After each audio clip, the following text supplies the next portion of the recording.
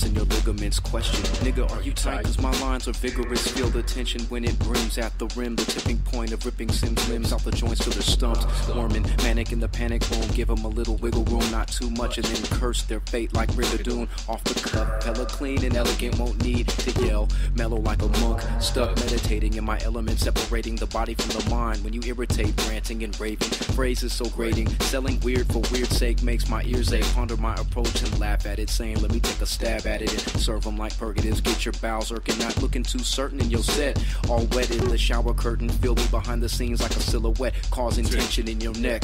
Working at the middle through your whistle guts, wrenching off my spittle spat harder than your alter ego's garters and light-hearted armor. Your quotes got no nuts or bolts. It's way simple. Tighten up your style a little and I might not trip. Mashing your mental through the mic box pitch. Bitch, I know you think your lyrics flavious. You and almost did. Go all in. I'll throw flows from the jaws of the id. Circling your spit in the bra. Looking sweeter than sugar in the raw and soft like a baby fist. We possessed head spinning in a 360 radius. Game it don't fib or forgive. Ramble like a maniac magus on his own shit. Fools wanna diss on some whole shit. When us don't get licked. I don't go dumb, I go thick. us.